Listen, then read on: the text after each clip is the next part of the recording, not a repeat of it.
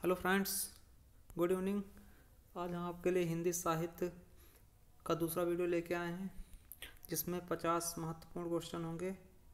और इसके पहले वाले में भी पचास क्वेश्चन थे तो टोटल सौ क्वेश्चंस अभी तक प्रोवाइड हो चुके हैं।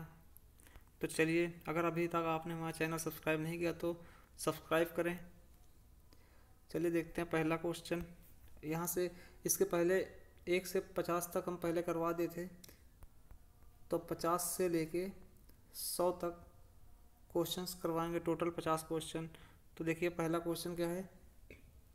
हिंदी पत्रिका कादम्बनी के संपादक कौन है? तो हमारा इसमें पहला ऑप्शन सही हो जाएगा, राजेंद्र अवस्थी।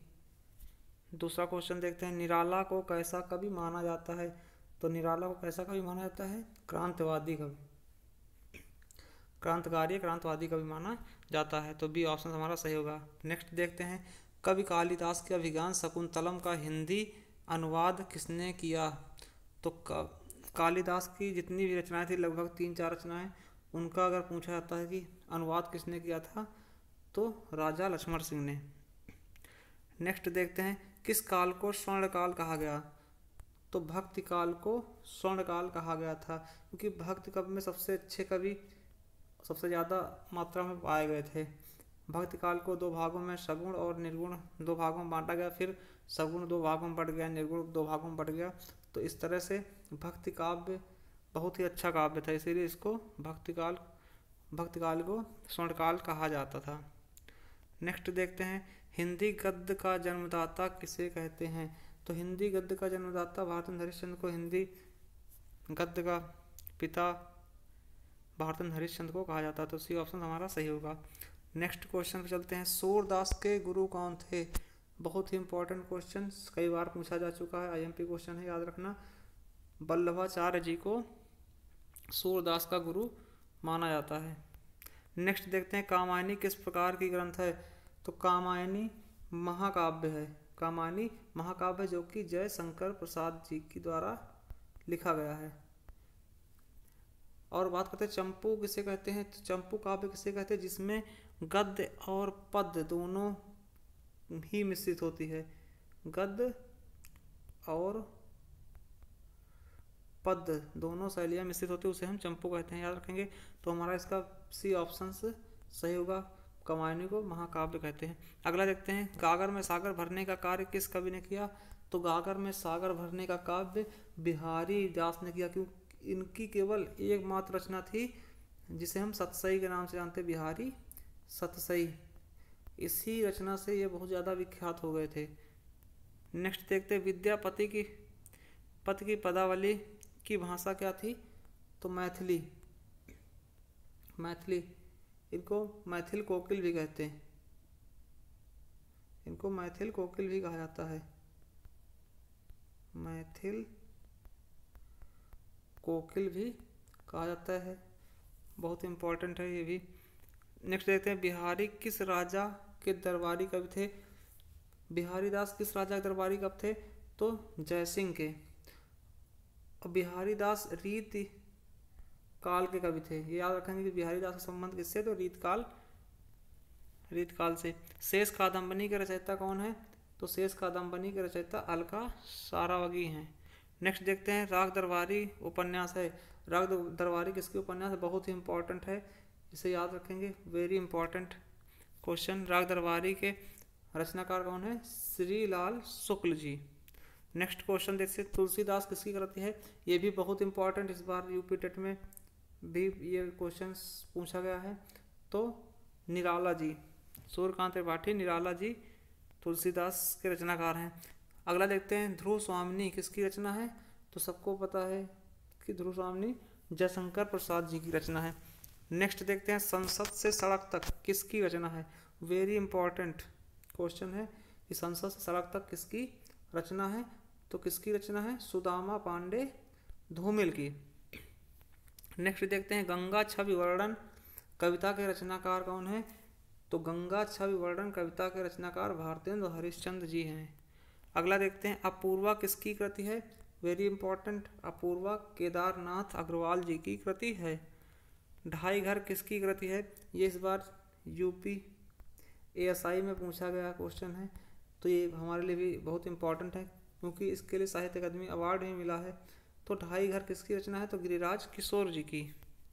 अगला क्वेश्चन देखते हैं, वीरों का कैसा हो बसंत बहुत ही इंपॉर्टेंट वीरों का कैसा हो बसंत ये किसकी रचना है? तो सुभद्रा कुमारी चौहान जी की। अगला देखते हैं, मिट्टी की बारात मिट्टी की बारात ये भी इम्पोर्टेंट रचना है। इसके लिए भी साहित्य अकादमी पुरस्कार मिल चुका है। तो ये किसकी रचना है? शिव मंगल सिंह सुमन जी की। नेक्स्ट क्वेश्चन देखते हैं, लिखित में से कौन सा प्रबंध काव्य है? प्रबंध काव्य एक कौन सा है? रामचरित मानस प्रबंध मतलब होता है कि शुरू से लेकर अंत तक किसी चीज़ को एक सुव्यवस्थित ढंग से दिखाना। तो प्रबंध काव्य कहलाता तो रामचरित मानस एक प्रबंध काव्य है। किसके द्वारा लिखा गया है? तुलसीदास जी द्वारा। तुलसी दास जी द्वारा।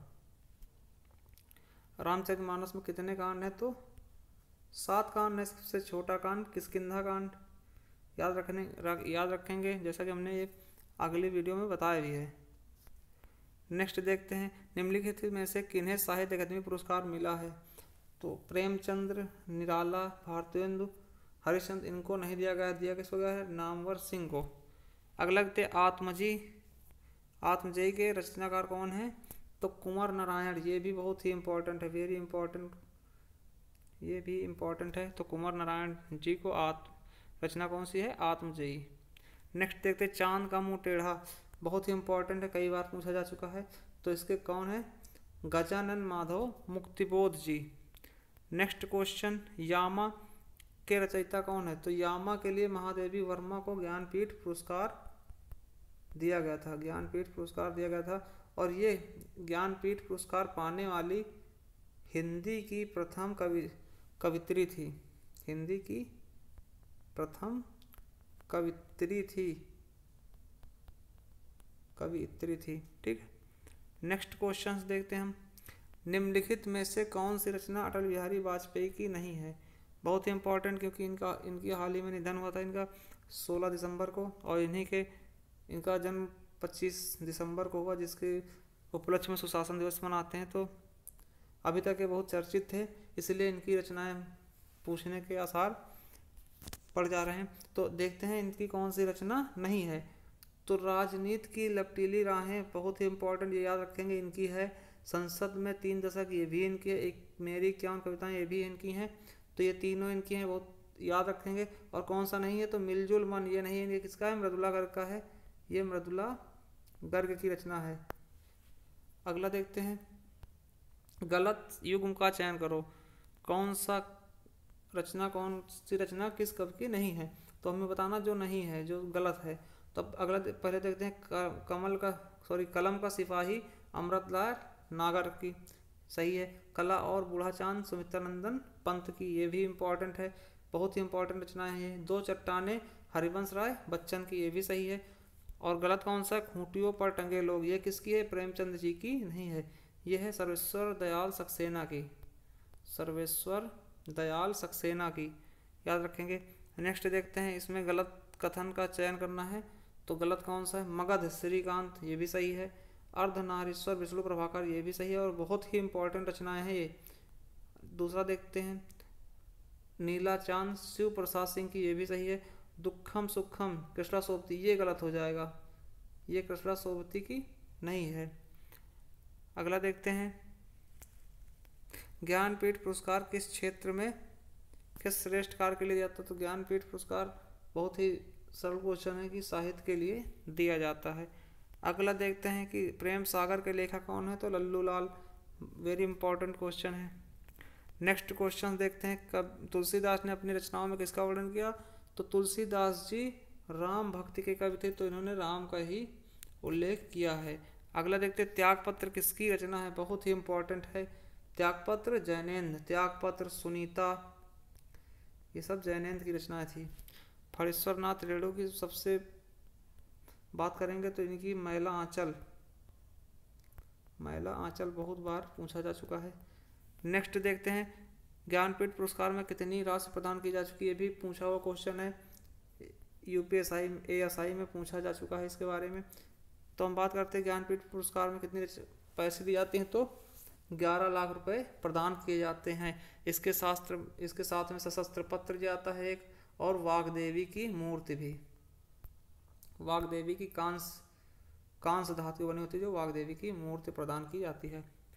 नेक्स्ट देखते हैं मजदूरी और प्रेम किसकी रचना है तो सरदार पूर्ण सिंह की। अगला देखते हैं हिंदी की पहली कहानी लेखिका कौन है तो बंग महिला, ये भी इंपॉर्टेंट क्वेश्चन है। अगला देखते हैं खड़ी बोली के सर्वप्रथम लोकप्रिय कवि कौन है तो अयोध्या सिंह उपाध्याय। इन्होंने प्रथम महाकाव्य खड़ी बोली का लिखा था तो प्रथम महाकाव्य जो कि प्रिय प्रवास है। प्रिय प्रवास का रचनाकार बहुत बार पूछा गया अयोध्या सिंह उपाध्याय जी हो जाएँगे।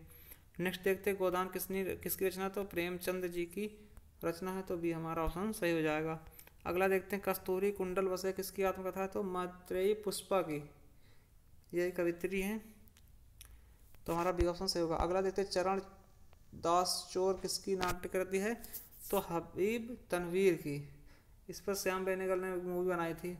तो ये हमारे लिए बहुत इंपॉर्टेंट है, हमी, हबीब तनवीर की। तो नेक्स्ट क्वेश्चन देखते हैं। ज्ञानश्रयी शाखा के कवियों को किस नाम से जाना जाता था किस नाम से जाना जाता है? संत कवि नाम से। अगला देखते हैं कि अपभ्रंश का बाल्मीक किसे कहा जाता है?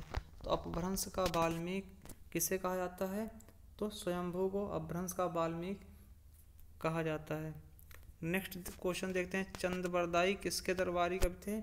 चंद पृथ्वीराज चौहान के दरबारी कवि थे। ये पृथ्वीराज चौहान के यहाँ कविताएँ लिखते थे। ये वीर रस और श्रृंगार रस के प्रमुख कवि थे। वीर और श्रृंगार के प्रमुख कवि थे। अगला देखते हैं रीत काल का वह कौन सा कवि है जिसने अपनी एकमात्र कृति से हिंदी साहित्य में अमर हो गया? तो कौन थे वो, बिहारी दास जिन्होंने गागर में सागर भरी थी। अगला देखते कठिन काव्य का प्रेत किस कवि को कहा जाता है? तो कठिन काव्य का प्रेत केशव दास जी को कहा जाता है। नेक्स्ट क्वेश्चन द्विवेदी युग का नामकरण किसके नाम पर हुआ?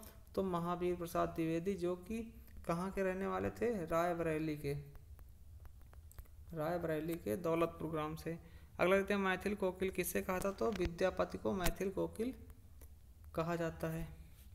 नेक्स्ट क्वेश्चन, बहुत ही इंपॉर्टेंट प्रकृति के सुकुमार कवि हैं। प्रकृति के सुकुमार कवि कौन है? सुमित्रा नंदन पंत जी। अगला क्वेश्चन, एक भारतीय आत्मा किसे कहा जाता है? तो माखनलाल चतुर्वेदी को। ये बहुत ही इंपॉर्टेंट क्वेश्चन है। कथा सम्राट किसे कहा जाता तो कथा सम्राट किसे कहा था प्रेम चंद्र जी को। अगला देखते हैं। कि हिंदी भाषा की जननी किसे कहा जाता है? तो हिंदी भाषा की जननी संस्कृत को कहा जाता है, क्योंकि संस्कृत से ही बहुत सी भाषाओं का जन्म हुआ है। ये हमारा टेस्ट समाप्त हो गया है। अगर अभी तक आपने हमारा चैनल सब्सक्राइब नहीं किया तो प्लीज़ सब्सक्राइब कर दें, और अगर इस वीडियो की पीडीएफ चाहिए तो नीचे लिंक में इसका हम डिस्क्रिप्शन दिए दे रहे हैं, डिस्क्रिप्शन में इसका लिंक दे रहे हैं, आप वहाँ से डाउनलोड कर सकते हैं।